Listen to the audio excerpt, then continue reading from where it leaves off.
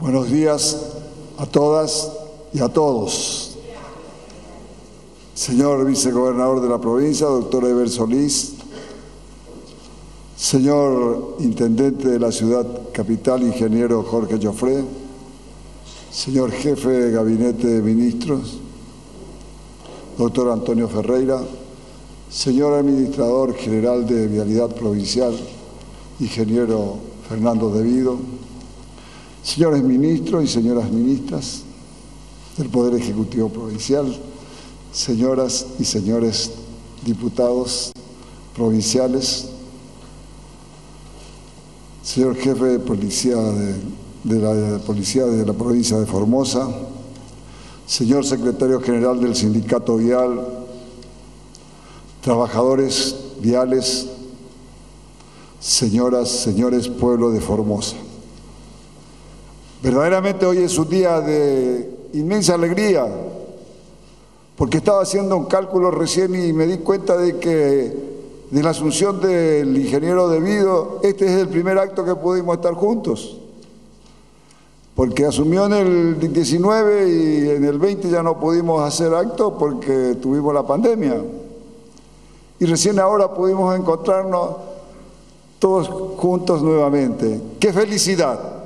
¿Cómo nos vamos a poner y dar gracias a Dios de podernos encontrarnos, que las autoridades de la institución le brinden este merecido homenaje a todos los trabajadores y trabajadoras viales por los distintos años de labores que, tuvieron en la institución.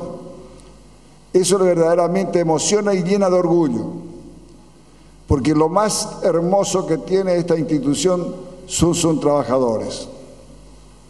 Se lo dice un hombre del interior, que ha conocido desde muy pequeño lo que es el trabajo de ustedes, que no solamente, hasta el día de hoy, que no solamente se dedican en hacer y cuidar o mantener caminos, se dedican en todas aquellas cosas que necesitan la comunidad.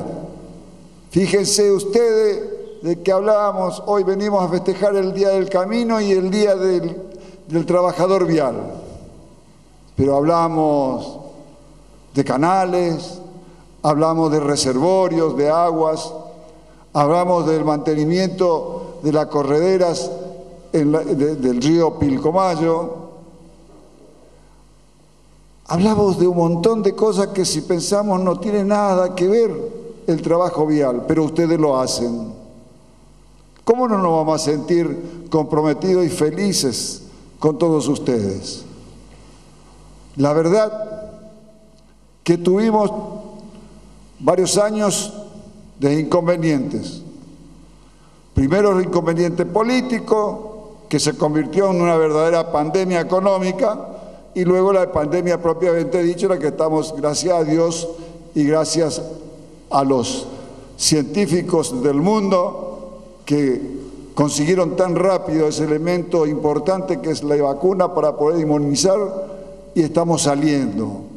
Hay una luz de esperanza en cada uno de nosotros y en cada uno de, de, los habitantes de este mundo, a pesar de que todavía tengamos personas que pretenden impedir salir de esta noche tan oscura.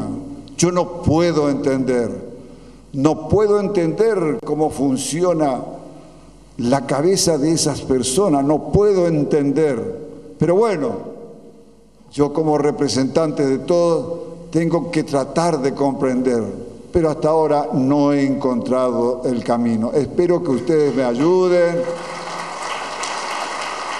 y espero que ustedes me ayuden. Y la mejor ayuda seguramente va a ser, si es que ustedes se acuerdan, el 14 de noviembre, y bueno, los resultados que obtengamos ahí va a ser para que sigamos abriendo los ojos y abriendo también las mentes.